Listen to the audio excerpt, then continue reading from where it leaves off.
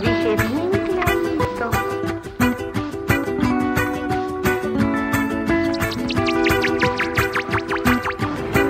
de la noche en La Habana, Cuba.